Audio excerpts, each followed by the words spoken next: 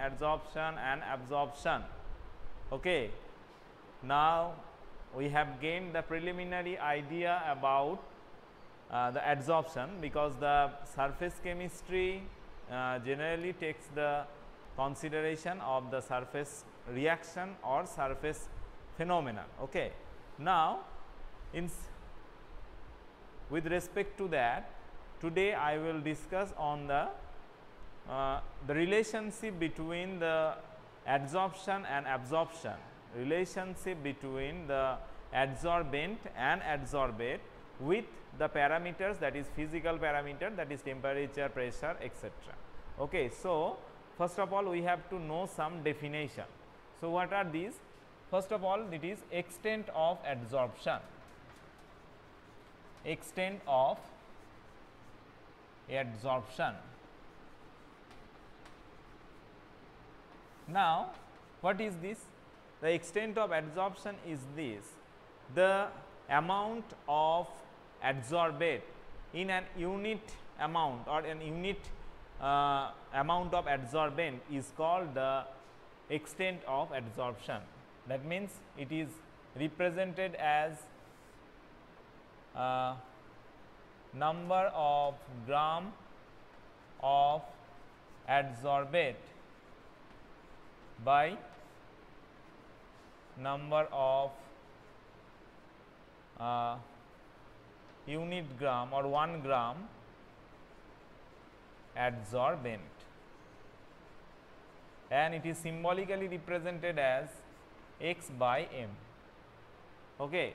So, x by m it is the ratio of number of gram of adsorbent by the number of unit gram or adsorbent. So, in unit gram or in 1 gram of adsorbent what are the amount of adsorbate is there is called the uh, extent of adsorption. Okay. Very simple. So, it is extent of adsorption. Next one that is adsorption isotherm. Isotherm. What is this isotherm represents? Iso means same temperature. Therm means temperature and iso means same.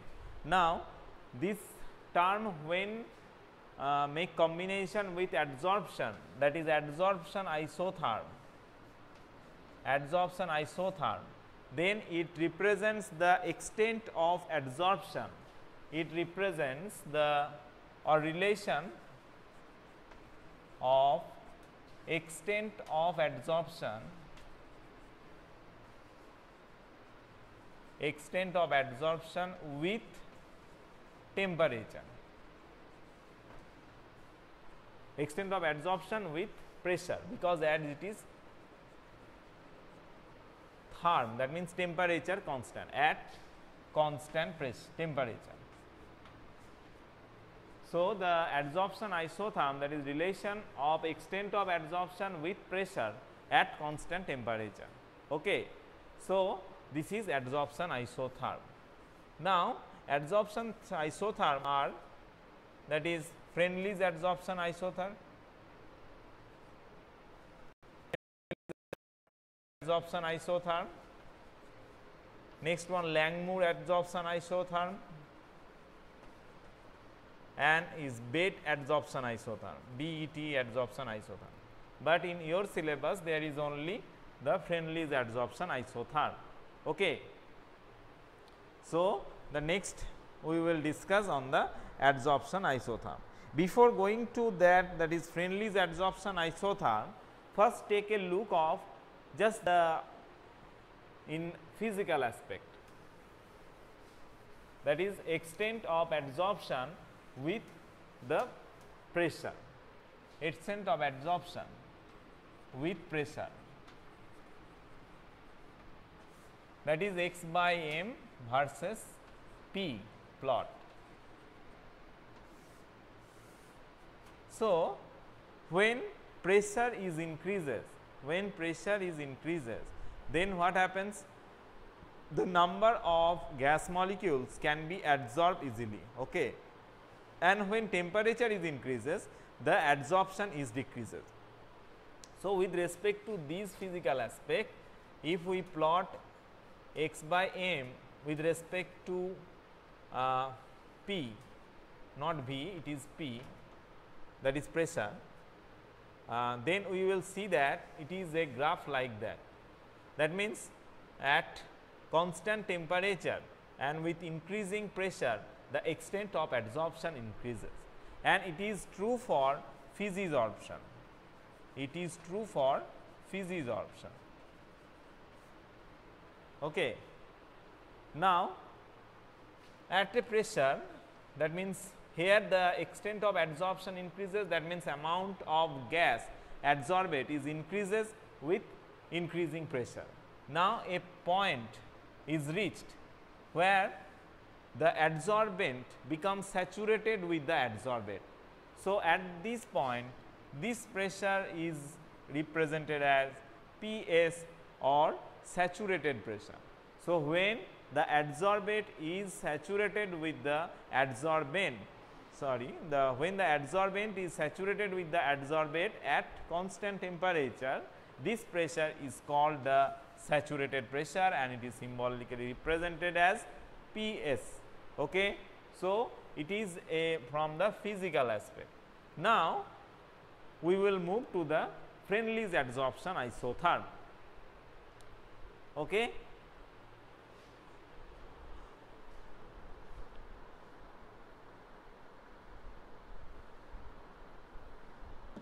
Now, move to the Freundlich's adsorption isotherm.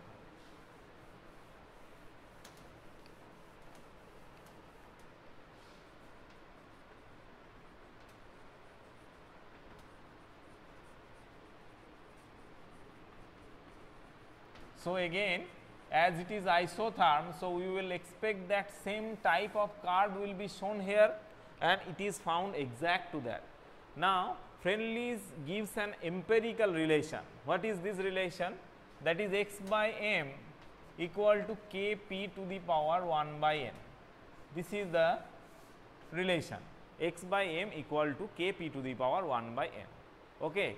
Now, here also x by m equal to extent of adsorption, extent of adsorption, k constant, p pressure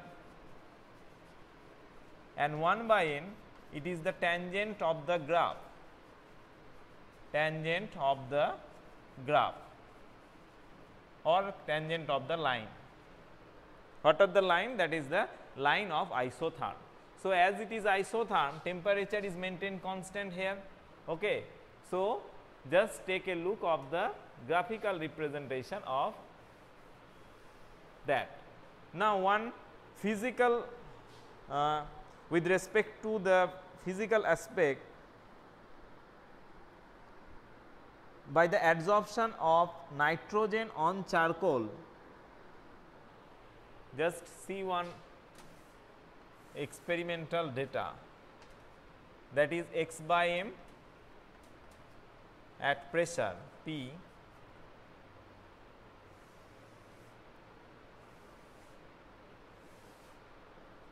This is the graphical representation of nitrogen gas adsorbed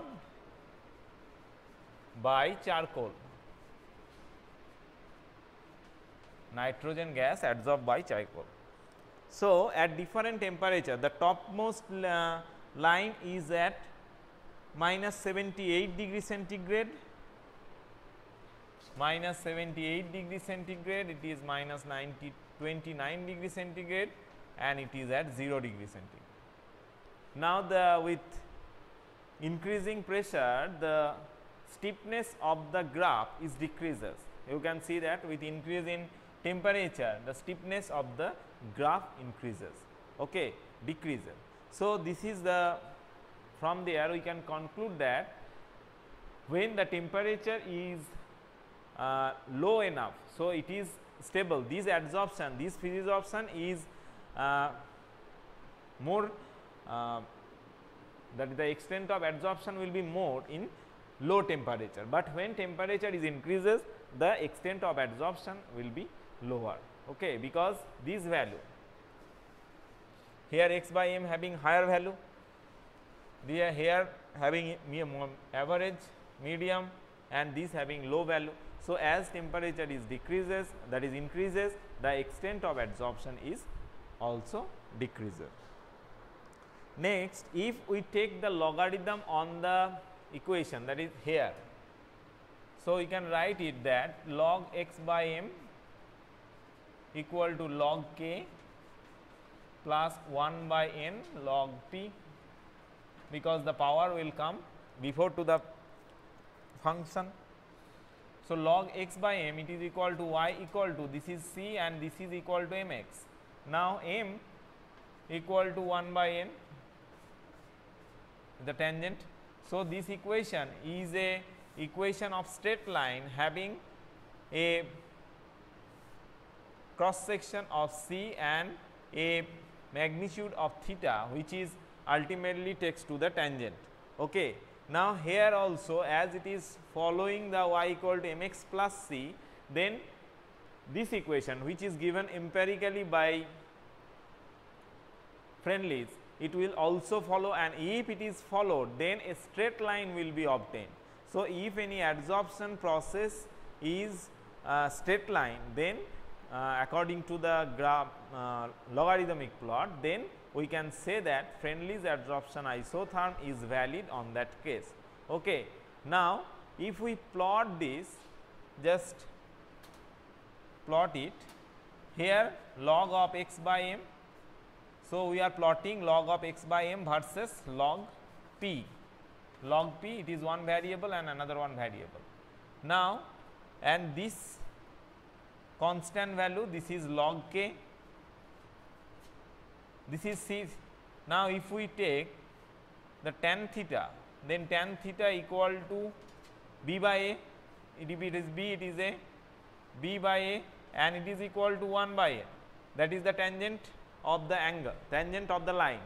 So, 1 by n is the tangent of that isotherm. Okay. So, it will be the mathematical representation of Freundlich adsorption isotherm in the logarithmic form. Okay.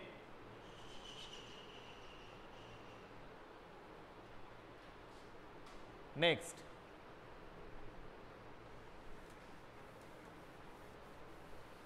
So, from there the question may be what is Freundlich adsorption isotherm, what is the mathematical form of the Freundlich adsorption isotherm.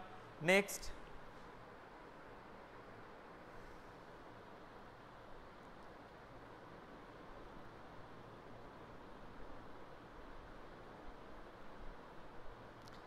if we follow the graph oh, before going to that the value of 1 by n the value of 1 by n is in between 0 to 1, but it is found that the maximum case it is equal to 0 0.1 to 0 0.5. The value of 1 by n is found experimentally that is the value of 1 by n equal to 0.1 to 0.5. Now, in general that is when we are plotting x by m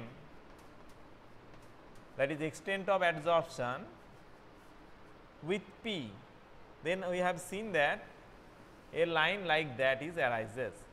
So, here just take a look of that line.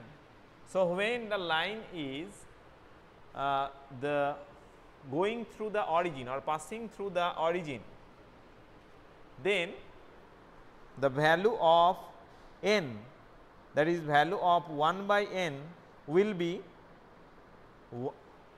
then the value of 1 by n will be 1 that is at that point. When it is in this point that means when it is parallel to the p axis then value of 1 by n equal to 0 and when the in, in that position then the value of 1 by n equal to is greater than 0 and less than 1 sorry 1 greater than 1 by n greater than 0. greater or equal to 1 by n equal to 0. So, these are the three conditions. So, when the line is passing through the origin then the value of 1 by n equal to 1. When it is parallel to the pressure axis then 1 by n equal to 0 and when in the intermediate position that means and the slope then it is in this region that is 1 greater or equal to 1 by n greater or equal to 0. So, these are the 3 points in, uh, in the graph. Next, what is the limitations of Langmuir uh, Freundlich adsorption isotherm?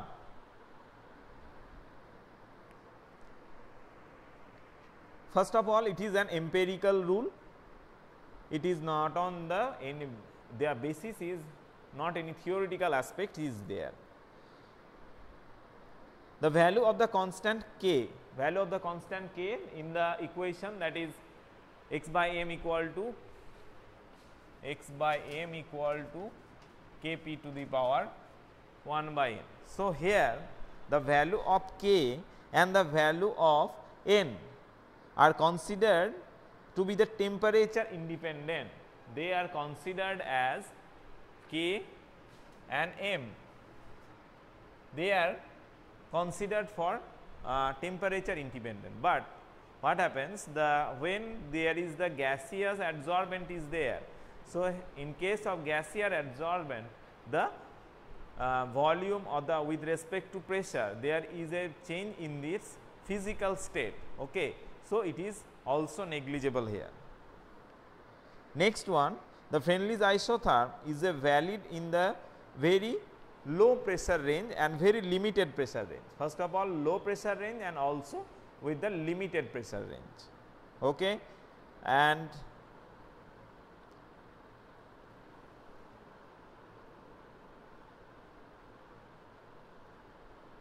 it cannot explain the behavior at very high pressure. It cannot explain the behavior of adsorption at very high pressure. Okay. So, these are the uh, 4 points. These are the 4 points that is the describes about the drawbacks of Freundlich adsorption isotherm. It is very low pressure range, it is applicable in high pressure range it cannot explain the behavior of the adsorption and the value of K, m and k is taken as temperature independent and also it is empirical one there is no theoretical aspect regarding to that. So, this is about the Freundlich adsorption isotherm. So, it was isotherm. Next point it is what is isobar? So, just take the knowledge from isotherm when x by m versus temperature is there. x by m versus temperature at constant pressure at constant pressure. That means the system is like that. The pressure is constant for an adsorption uh, pressure is constant and the temperature is changing. And we have to make a relationship between the x by m that is extent of adsorption with that of the temperature. So, for this you can see a plot like that it is x by m and it is temperature.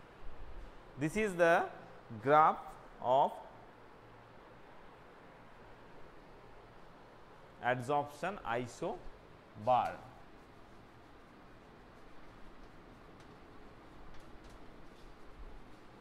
adsorption isobar. So, this is uh, a curve like that. That means extent of adsorption with increasing temperature from the physical aspect also that with increasing temperature the x by m also decreases and it is shown in the picture also.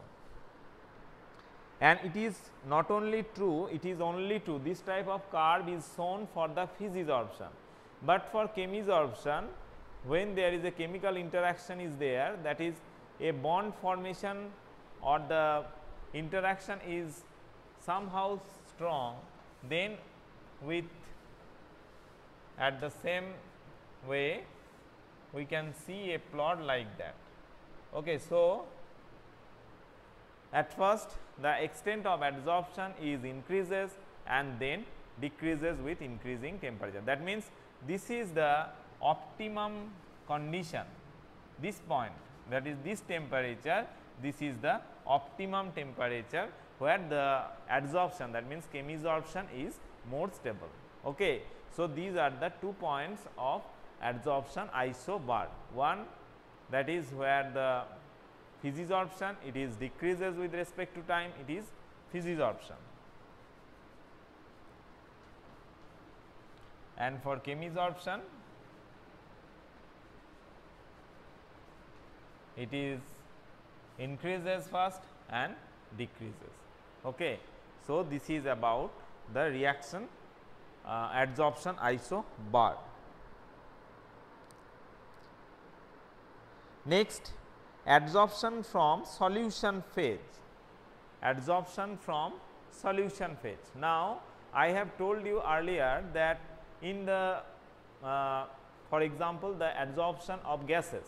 Now, these are not from the solution, but the examples like in the production of sugar that means here some adsorption uh, that is animal charcoal is used to absorb the color of the uh, liquid sugar. Okay.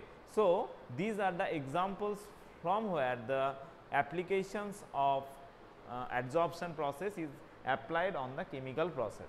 So, we have to find out this. So, next point is that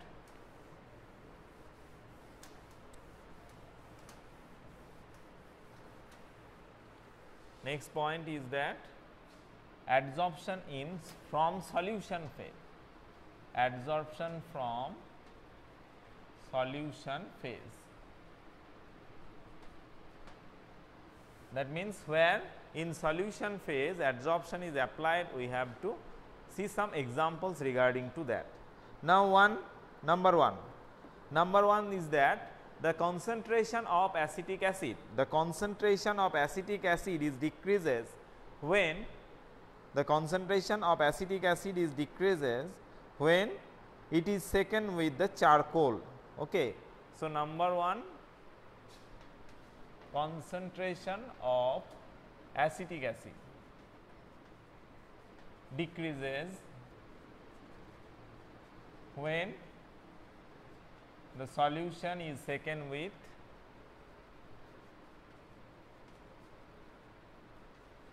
with some charcoal powder.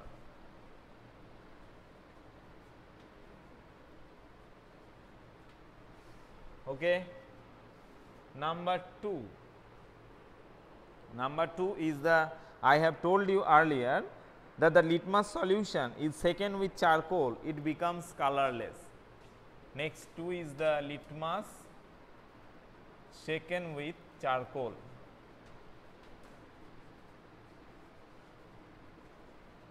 Charcoal, litmus shaken with charcoal becomes colorless.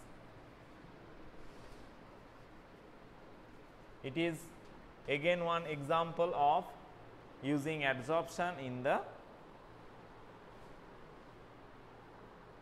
next one is that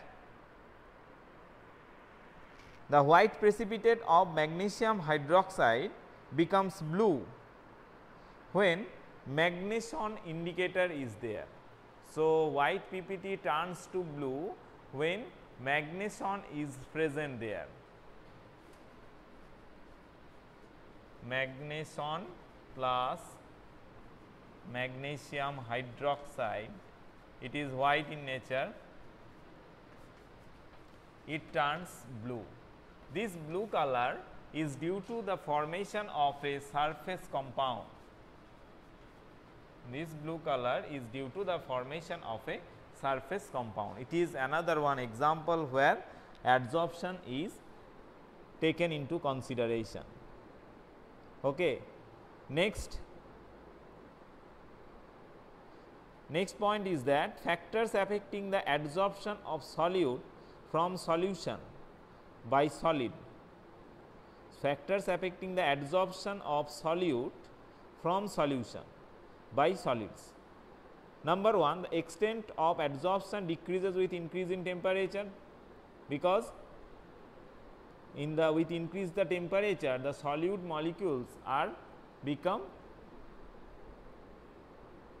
uh, more energetic that is kinetic energy increases.